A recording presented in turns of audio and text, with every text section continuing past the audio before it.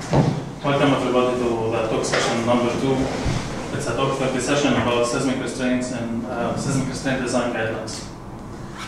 So in this talk I will try explain a little about the earthquake, how, what it is and how does it occur. I will explain a little about uh, seismic restraints and how they help uh, deal with the effects of earthquakes on piping, ducting and electrical systems. I will show how to space the seismic restraints and how to calculate the seismic forces on pipes. And finally, I will show some code exemptions for piping and electrical systems. I will not talk about the bracing of mechanical equipment and the special considerations to consider with drain, waste, and fire protection systems. And I will not talk about consequential damage. These are the resources I used to prepare this presentation, most of the material I'm using is from Kinetics guidelines, which is um, mainly a summary of all the other codes. So I'll first start with talking about earthquakes. Uh, as we all know, the land we are living on uh, is formed of tectonic plates. These are giant uh, rock plates, size of continents, and uh, they connect with each other through these lines called fault lines. Uh, these plates are constantly rubbing with each other, and uh, an earthquake occurs when one of these plates goes on top or down the other. Mm. To simplify the idea more, suppose I have this block of foam, I break it into halves, so each half is a tectonic plate.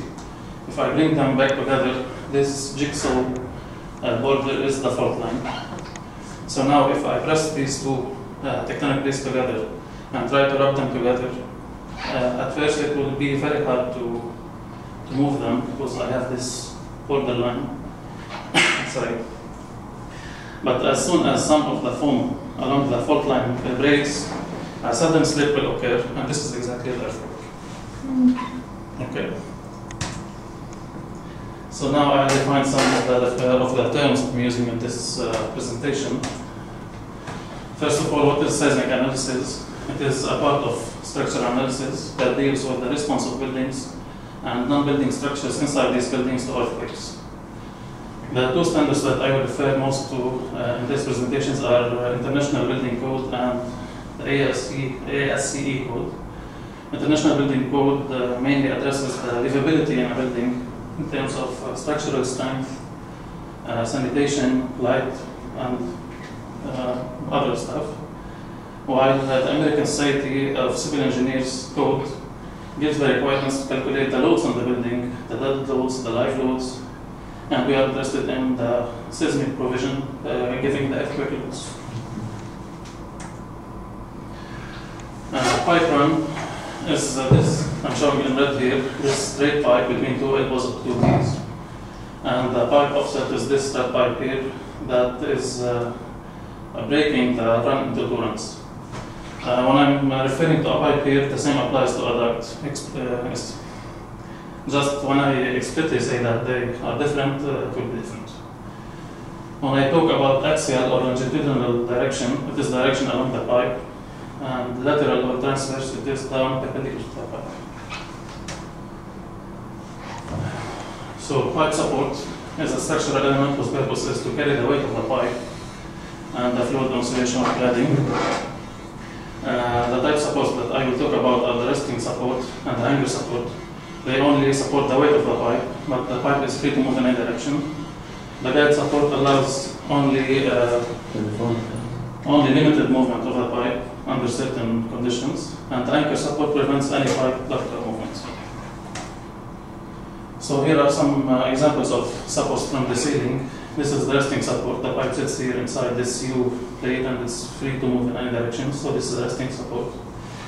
Here is a guide support. The whole pipe clamp and saddle uh, structure can move freely on this I-beam, except that these small angles here that prevent the pipe after certain millimeters from moving, these are called the guides. And here is the anchor support, where the pipe is not allowed to move in any direction. The same but from the ground. Here, when I talk about pipe hanger, I'm talking about this rod with clamp uh, structure that is holding the pipe. Sometimes the clamp is uh, replaced by these pipe clevis. And when I talk about pipe trapeze support, it is this structure of beam and hangers that is supporting the pipe. It could be used also for electrical uh, support.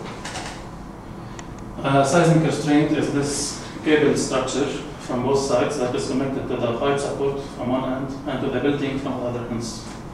I will come to this later in more details. Bracing, some bracing? It's called bracing post So, a little about the seismic load calculation. We'll first start with the International Building Code that categorizes the building according to occupancy. Category one are the building and structures whose failure would pose low hazard to human life, and they are not required to continue on operation after earthquakes. While category four are the buildings that are required to continue on operation, like hospitals and fire departments and other stuff. This is cooling uh, comes in category. After I determine the occupancy category of the building, a structural engineer must calculate the short uh, period design response acceleration parameter and the long period design response acceleration parameter. These are basically how the uh, building structure will respond to an uh, earthquake excitation, both for uh, short period and large period. So I determine the building uh, seismic category from this using the occupancy category and the these response values. I use the most stringent one, so if I get here building seismic uh, A and here C, I will take C. This is the, these are the equations defined in ASCE for calculation of horizontal and vertical uh, earthquake loads on the uh, pipe structure. Uh, this equation is all like FP is equal to a constant times the weight of the pipe. This constant depends on the natural frequency of the system the uh, system, the uh, site response to uh, earthquakes. This, how ductile the system is, the piping. This here is uh, at which level is the piping inside the building height with respect to the building height. The most important factor here is, uh, here is IP, the importance factor. This factor determines whether I should do seismic restraint to this system or not. So for low import systems, this IP is set to 1, like HVAC systems, while firefighting will get an IP of 1.5. I will come to this later in more details also. The vertical is simple, it's just like coefficient times the weight. So what seismic restraints are? As I shown before, it's this cable structure connected to the support. Uh, we have two types of uh, restraints transverse restraints and longitudinal restraints. Transverse restraints, they prevent the pipe from swinging side to side relative to the building structure, while longitudinal do the same but for back and forth movement along the pipe axis. But how do simple cables like these prevent the piping uh, that is like several tons in weight from swinging? Well, it does not. The idea is to keep the movement of the piping as close as possible to that of the building you know, different levels in the same building will respond uh, differently to the earthquake. So if the building is moving like this and the pipe is moving out of phase, the support in between will break due to shear forces. So the role of these seismic restraints is to keep the movement between the piping and the building in phase as much as possible to uh, help keep the supports intact. So a little about spacing of seismic restraint seismic restraints, sorry. I will not go into details this one. Uh, the sizing, or uh, the spacing of the restraints will depend upon the type of the system. Is it uh, ducts, is it uh, pipes, or is it conduits? And uh, on the type of supports. So for single, for the cliff support, it will be different than the trapeze support, for example. Uh, what I'm interested to show you here is that we have a transverse seismic restraints for the transverse uh, restraints and we have longitudinal spacing for the longitudinal restraints. Usually SL is equal to ST or is double of ST. But it's always greater than ST. It uh, ranges between ST and 2ST.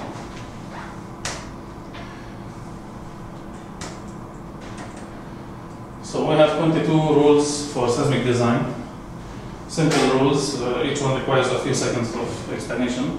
This one defines the, rule number one defines the uh, pipe run, I already defined before. Rule 2 defines the offset, but what's interesting here is saying that if the length of the offset is less than st over 16, then these two pipes would be considered as a single run, and I don't have to restrain each one alone. Rule number 3 says that the transverse and longitudinal restraints have to be placed at or near the hanger or support locations, but no more than 100 millimeters away from the support.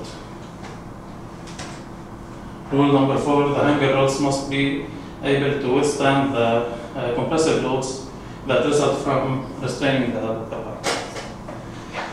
Rule number five, this is what I talked about before, the longitudinal seismic restraints facing SL is less than or equal to 2 ST. Uh, mostly it is equal to ST or equal to 2, 2 times ST. Rule number six, if the length of the pipe run is less than ST over 2, then I have to use only one transverse seismic restraint. If it is between ST over 2 and ST, I will use two, one at each end. If, uh, if I calculate the distance between the uh, two seismic restraints that I put and found that the distance in between is greater than ST, I have to add as much as seismic restraints, uh, transverse seismic restraints as needed to keep the distance less than ST between any two consecutive seismic restraints. Rule number eight, every pipe of every, every run of pipe or pipe must have at least one longitudinal seismic restraint, irrespective of the length of this pipe run. It can be located anywhere along the run and not uh, need to be to be centered. This is one of my favorite rules because it simplifies the uh, calculations tremendously. If I have an elbow and I place the transverse restraint within 24 inches from the elbow, then the, the transverse restraint for pipe number one will be considered as longitudinal to pipe number two. And the longitudinal here will be considered as transverse. Uh, this rule just to stress that uh, any pipe run must have at least one longitudinal and one uh, transverse rest, uh, restraint. Uh, any uh, pipe of length st greater than uh, sorry length greater than st over 2 it will have two transverse restraints and only one longitudinal restraint. a pipe branching from the main header is called a stub out. If the length of this stub out is less than st over 16, the whole pipe can be considered as a single pipe run. Otherwise, it has to be broken into two. Uh, when I'm taking the stub out, I cannot use the, the rule I showed before, the 24 inch rule. Uh, I consider that the support here is, uh, the restraint here is restraining also this pipe, because neither the restraint will have the capacity, nor this pipe will have the capacity to restrain this big header. 13 and 14 I will show here on the drawing. For the vertical drop downs from the main handle to an equipment like a pump or a chiller, uh, there always have to be a flexible connection between the equipment and the, and the vertical run to handle the uh, relative motion between the equipment and the pipe run in case of an earthquake. Rule number 14 would be that if the length of this uh, vertical run edge is less than ST over 2, you don't need to add any restraints from on this uh, part, given that you have a restraint within 24 inches on the header. Otherwise, you have to restrain it but from the ground. the angle that the acceleration angle of the seismic restraints, whether transverse or longitudinal, must be between 0 and 60. The longitudinal restraint must be directly uh, uh, in contact with the pipe, either with a clamp or uh, welding with the pipe. But it's not never uh, on the support itself. It must be in direct contact with the pipe.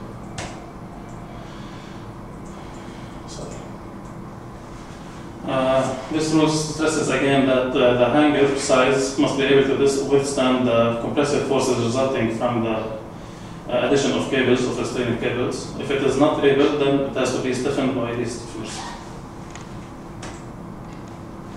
And this rule uh, shows that uh, there should be at, at least, sorry, at most a quarter of an inch as an uplift limit stop to limit the piping from oscillating in vertical directions significantly. Rule number 19 uh, is about chilled water piping. Uh, since we have significant uh, contraction in the pipe usually, uh, the consideration here is that only one longitudinal restraint can be fitted to a length of the pipe, whatever the length is. So if the length is greater than SL, then I have to add expansion joints and break the into several runs, and each one of them is restrained by a longitudinal restraint. Uh, again, for chilled water piping, I will show here in this, Yeah. the distance from an elbow to the first transverse restraint at C should be as this given table. I will not use this rule anyway. And this rule says that if the piping has sockets from the ceiling, the restraints should be uh, um, taken from the ceiling. If the supports are from the ground, the restraints should also be from the ground.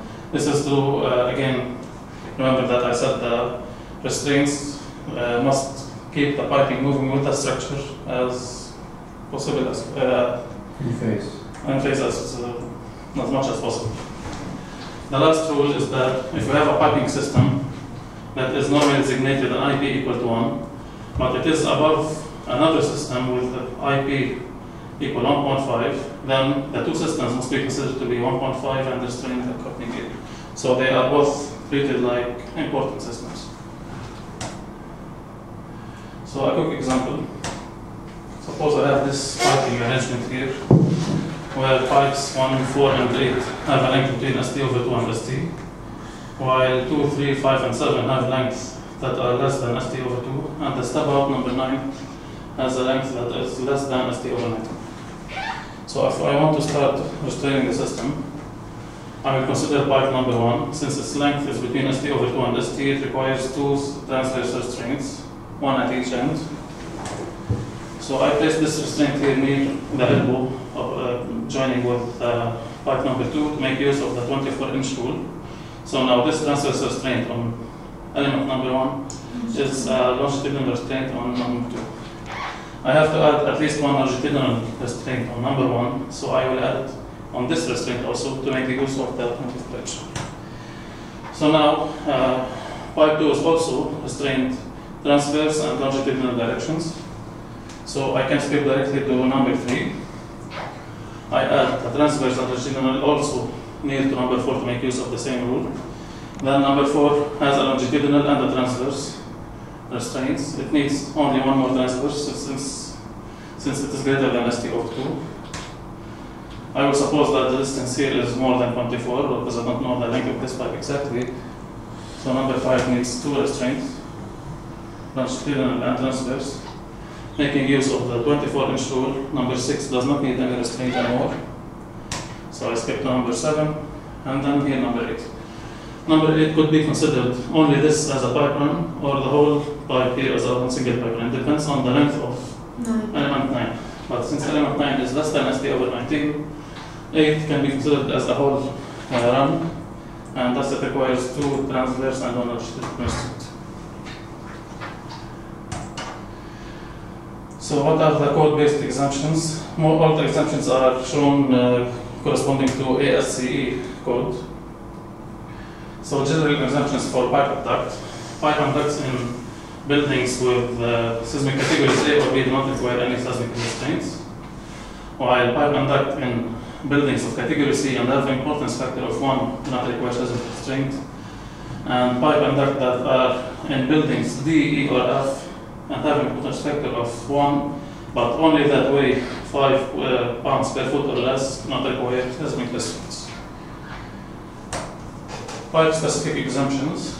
Uh, a pipe has to fulfill all these three conditions to be exempted also. Uh, first, that the pipe should be uh, supported from the ceiling with hangers that are all 12 inches or less in length. If only just one hanger exceeds 12 inches in length, the entire run must be seismically restrained. And the hangers must be able to withstand the, uh, the excessive uh, uh, loads from the seismic uh, excitation. And finally, there has to be enough clearance between the piping, which is exempted, and the other pipes to avoid the consequential damage. A second exemption is for welded steel.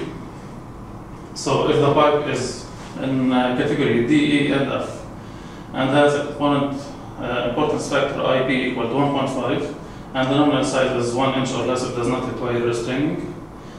If it is in uh, building category C and has IP equal to 1.5, and the nominal pipe size is 2 inch or less, or if it is in category D, E, and F, but the piping has a importance factor of 1 and the length of the diameter is 3 inches or less. Some duct specific exemptions, uh, ducts that have an importance factor of 1 and have the 12 inch rule, which is the length of the most hanger size is 12 inch. So this one is exempted, or it is an IP of 1 and have a cross sectional area less than 6 feet. For electrical systems, uh, the electrical equipment are exempted given that they have an IP of 1 and given that a qualified component is selected and supports are designed to withstand the code mounted forces and displacements. The second exemption is for Uh, conduits that have an importance factor of 1.5 but whose size is 22.5 inch or less. And the last exemption is for conduits, ducts, or cable trays that are supported on trapeze bars, given they have an importance factor of 1.5 and have a total weight that is 10 pound per foot or less. Thank you for attending. Thank you. Great. So, I want to ask. Uh, I want to ask a question, but I'm afraid uh, you explained it when I was outside, so I'm just going to ask it. Uh, you mentioned the different categories for buildings A, B, C, D. Uh, how do we like, Yes. uh, justify which one? Yeah. We have here the IBC code. Gives you category of the building. Uh, category number one, lost, least important buildings that are, are indifferent, they are working or not after an earthquake. Up to number four, where like hospitals and fire, they have to be operational after an earthquake. Okay. taking the category of the building, the occupancy category, um, special engineer will calculate the response of the building to uh, short wave and long wave, short period wave and long period wave of uh, seismic uh, excitation at the site. Given these values, SDS and SDL, along with the building category, will give you uh, building seismic design either A, B, C, or D. E and F have other equations that I'm not sure. Okay. Thank you.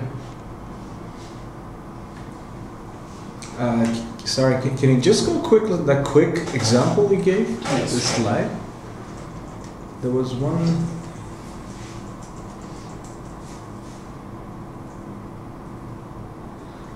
Yeah, this one. Uh, this the, the the the pipe with the leg number four. Yes. You have here. You added two I have here uh, two transverse supports on this piece, right? Four. Because it was higher than ST, it was bigger than uh, Yes. ST, uh, Yes. half of the It's ST. between uh, steel two and steel. All right, and then uh, my question was the second one that you added in the middle of the pipe. Yes. Can you do it at the end of the pipe so you get rid of the Well, other? I, I don't know exactly what's the length of this one. Remember that we have like 24 inches from here. Yeah, no, no, this one I understood, but uh, Yeah. for number four, So you need the total length now between this one and this one. So it is 24 inches plus the length. I was not sure, is it, if I go to the end, will be uh, larger than ST or not? ah, okay, So I tested here. ah, okay, this one, okay, very good. Okay, just maybe it's a basic question. If you have a, an earthquake movement op- opposite of the, for example, if you have a, a, a movement like this and you have a longitudinal restraint, would it damage that restraint? Like you have a movement like this and your restraints are like this. Well, you will never, as you can see, you will never have a longitudinal restraint alone. Now, if you have an earthquake Yeah. and your movement is like this, perpendicular to the to the Yeah, but you will not, never have a longitudinal alone. You have always transverse and longitudinal together. But you have one here, for example. Okay, you have the transverse and the earthquake is like this now. Yeah, but this support is support is uh, Oh, this sorry, like this. Oh, but if that will that will compensate Yeah. for the other one. Okay. Remember that the length, uh, the spacing for uh, longitudinal restraints is twice that of the transverse, So So this one will- and it can be replaced anyone any place along the pipeline. Doesn't matter. Uh, for, for Abu Dhabi, like, uh, or for here, what is the code we should use? Do we Um, have, do we have something documented or? I'm not sure actually, but uh, this ASCE, says that results must be taken from the site. So it's not like the UBC before, like zone 2A and Yeah. zone 2B. No, the results must be taken from the site and these SDS and SDL, upon which you, are, you will be able to design. Importance factor, how do you choose it? Uh, there is a table actually, but I thought I didn't have time to show it. It shows you that You have time. It shows you uh, each uh, system, firefighting system is 1.5 for example. Any duct transferring uh, toxic material from a hospital or something should be 1.5, something like this. So mainly because all of our projects we're not doing seismic uh, restraints. Yeah, exceptions. mostly we will not require. Because if you, not very clear. This would cool.